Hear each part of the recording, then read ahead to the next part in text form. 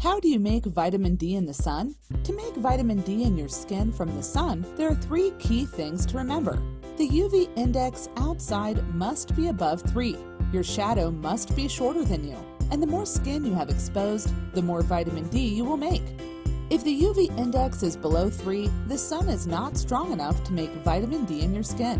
If your shadow is long, like it is early in the morning or in late afternoon, the UVB rays needed to produce vitamin D cannot get through the atmosphere. If you don't expose any skin to sunlight or you use sunscreen on your exposed skin as directed, you will not make any vitamin D. The higher the sun is in the sky, the more vitamin D you will make in the least amount of time.